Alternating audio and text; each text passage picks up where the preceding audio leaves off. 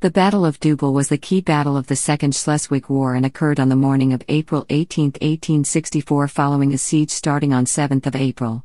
Denmark suffered a severe defeat against Prussia, which decided the war. Dybbøl was also a battlefield in the First Schleswig War. Background Following the annexation of the Duchy of Schleswig in November 1863 by the Danish King Christian IX, Prussian and Austrian troops invaded Jutland in January 1864. The defending Danish army were equipped with smaller guns and an older type of rifle. The Prussian army used the Dreyse needle gun, a breech loading rifle that could be loaded while the user was lying down.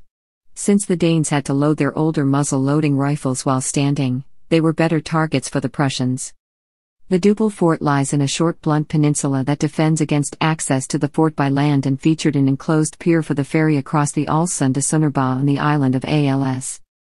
The Dybbøl position was ill prepared due to too much effort spent fortifying the Danevirke.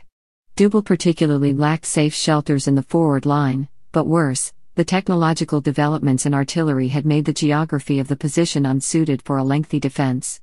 The line had too little depth, and across the waters of the southern inlet, modern guns could subject the main defensive line to raking fire along the length of the line. This meant that not only was the position effectively saturated during the approximately two months of bombardment, but also most of the defending crew had to be withdrawn far behind the line because of attrition by the bombardment and lack of effective shelters, and when the storm assault was finally initiated, the line was consequently undermanned by tired and demoralized troops. The Danes did have one major advantage in that they had more or less unchallenged command of the sea and so were able to deploy the modern ironclad Rolf Krake to the scene to support Danish ground forces at Dybbøl with shore bombardments from its turret mounted 8 inch guns. For much of the siege of Rolf Krake was used as a mobile heavy seaborne artillery platform and the Prussians were almost helpless to counter it since they had no naval forces of their own capable of matching the Danish navy, a fact that sapped Prussian morale. The firepower of the Rolf Krake was not exploited as well as it could have been. It has been pointed out that the vessel could have been employed to more aggressively shell the Prussian siege works which were relatively exposed to naval bombardment but the ship nevertheless rendered invaluable support. Battle on the morning of April 18, 1864, at Dybbøl, the Prussians moved into their positions at 2 a.m. At 10 a.m., the Prussian artillery bombardment stopped and the Prussians charged through shelling from the Rolf Krake, which did not prove enough to halt them. Thirteen minutes after the charge, the Prussian infantry had already seized control of the first line of defense of the redoubts. A total massacre of the retreating troops was avoided and the Prussian advance halted by a counterattack by the 8th Brigade, until a Prussian attack threw them back. That attack advanced about one kilometer and reached Dybbøl Mill.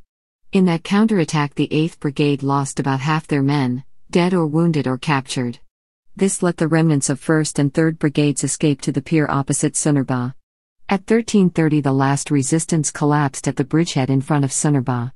After that, there was an artillery duel across the Alssund. During the battle, around 3,600 Danes and 1,200 Prussians were either killed, wounded, or disappeared.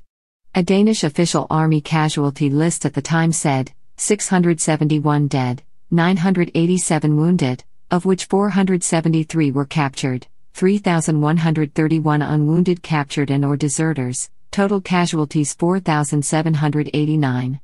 The 2nd and 22nd regiments lost the most. Also, the crew of the Danish naval ship Rolf Krake suffered one dead, ten wounded. The Battle of Dybbøl was the first battle monitored by delegates of the Red Cross, Louis Appia and Charles van de Velde. Following the battle, the Prussians used the fort area as a starting point to attack ALS in June 1864. Aftermath while the Battle of Dybbøl was a defeat for the Danes, the activities of the Rolf Krake, along with other Danish naval actions during the conflict, served to highlight the naval weakness of Prussia. In an attempt to remedy this, the Austro Prussians dispatched a naval squadron to the Baltic, which was intercepted and soundly defeated by the Danish navy at the Battle of Helgoland. A peace treaty was signed on October 30, 1864, that essentially turned the duchies of Schleswig and Holstein into an Austro Prussian condominium under the joint sovereignty of the two states. The German Chancellor, Otto von Bismarck, had taken one of the first steps toward launching the German Empire that would dominate Europe until World War I.